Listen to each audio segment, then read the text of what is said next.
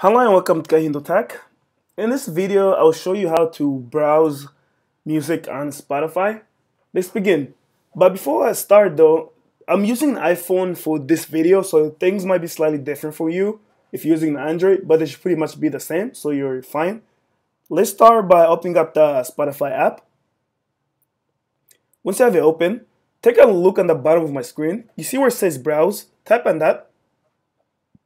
And this will take you here. So here's where how you browse different type of music. You can browse like the weekly, weekly discover music, Latin and Christmas music for like, uh, say for that particular holiday. Or if you scroll down, you can browse music based on the charts, and they give you really a lot of good breakdowns. Give me from the United States, global top 50, viral music, and then top 50 by country. or if we go back, you can also browse by release date. So yeah, this like it goes going from uh from the oldest the most recent. So these are the most recent music that came out.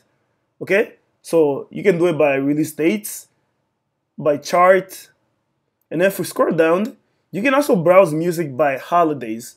I mean, sorry, by genres or moods. As you can see, like hip hop music, Latin music, chill music, focus music for studying, electric and dance for parties, all this kind of stuff. And there's also sleeping music also. So these are all the different ways that you can browse music. Just make sure you click on browse and then there's all these different ways that you can browse music. It's pretty easy, but if you have any other questions or comments, please leave them in the comment section below. If you like the video, give it a thumbs up and definitely subscribe to my channel for more videos like this. Thank you for watching.